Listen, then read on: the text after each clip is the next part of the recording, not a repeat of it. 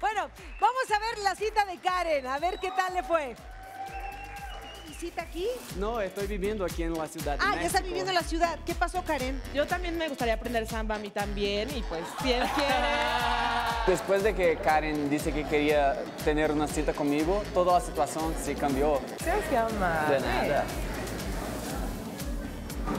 Porque qué mala onda que vengas y quieras conocer a alguien y esa persona no esté, porque sabe que es un chavo súper buena onda. Dije, Y la única cosa que tengo a decir para Jennifer es chao, chao.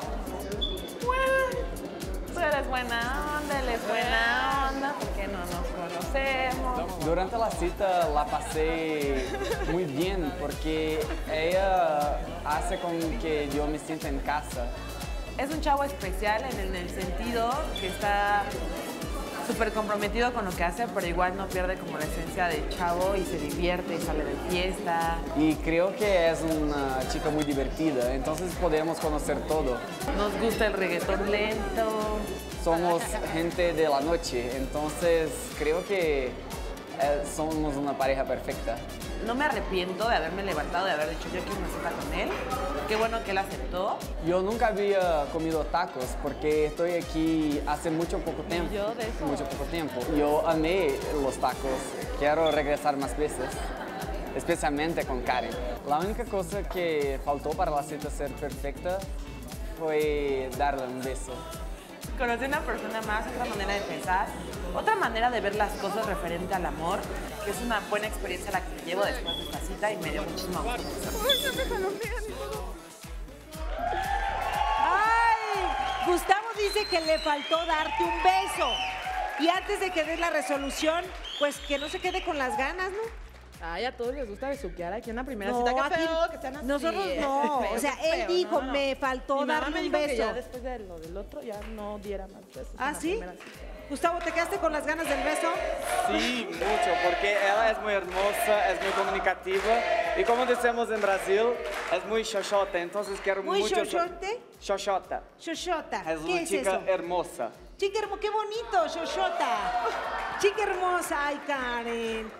Karen, Ay, ¿a dime si... no, no es un amor? Ah, es un amor, es un encanto. Pero dime tú si quieres ser pareja de Gustavo. Ay, No, ya, ya, ya. Ya. ¡Ay, no, bueno! Se pone de rodillas y todo Gustavo pidiendo una oportunidad. Dime, Karen. Ya siendo así súper honesta, la verdad es que no podría ponerle un pero. Él es muy lindo, es una persona que tiene metas, o sea, que Brasil, Brasil no es un impedimento, o sea, no. Pero hablando sinceramente, ya pensando en una relación estable a futuro, yo necesito a alguien que si yo le diga a la derecha, no vaya a la derecha conmigo, que a veces también me diga, ¿y por qué a la derecha? O sea, ¿sabes? Un carácter más fuerte. Y, y yo contigo no, no, no, no tengo eso. Pero eres un, un amor. Oye, oye, Karen, pero no quisiste con Cristian y te contradecía en todo. No, tampoco en todo. No, no, Bueno, no. pero casi en todo. ¿No? No, no. Es que es diferente. O sea, de- también son caracteres muy diferentes, pero. Somos es- un poco diferentes, pero podemos nos complementar. Claro. Como dice No. Rosario, las diferencias unen. O sea, yo sé que. la- o sea, a lo mejor en un principio puede ser bonito y divertido y todo, pero a la larga no. ¿No? Entonces no tenemos pareja. No. No tenemos pareja. Bueno, Adrián, pues tenemos un bateo directamente hasta Brasil. ¡Vamos, bateo! Bate, bate, bateado, ya eres bate, bate, bate. Karen sigue buscando el amor en este programa. Va con los amorosos.